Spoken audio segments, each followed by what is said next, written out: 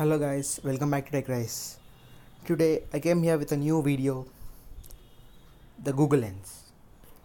Finally, Google has released its lens on the official Play Store without any APK.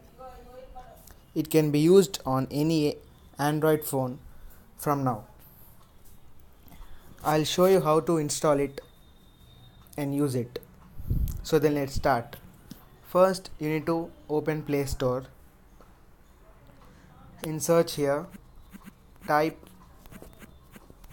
google lens and click on install. You can see that the google lens of my phone is installing. And let me say that my phone is not rooted. This phone is not rooted. It's successfully running without root. And i am running on redmi note 5 pro can see here. And this one is not rooted. Let me show you. If you go to developer options here you can see the device is logged. So you can see that my device is not rooted. It's unrooted version of redmi note 5 pro i'm using. This google lens has been officially released in the play store.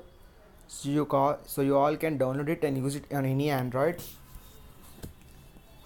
it's very easy to use and it detects anything in front of you.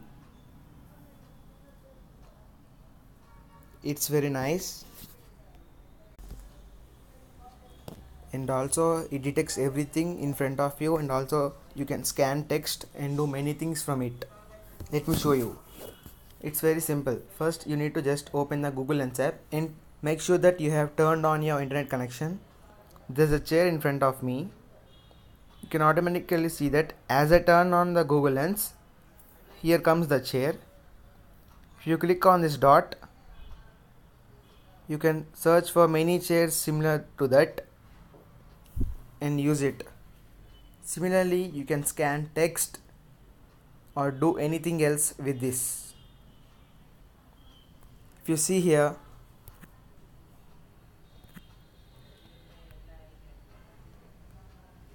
it can copy text it can search similar, similar products from online and uh, you can buy them from here. And you can also scan the barcodes and you can automatically identify the plants and animals. And also if you show it to some famous people's photo it detects them.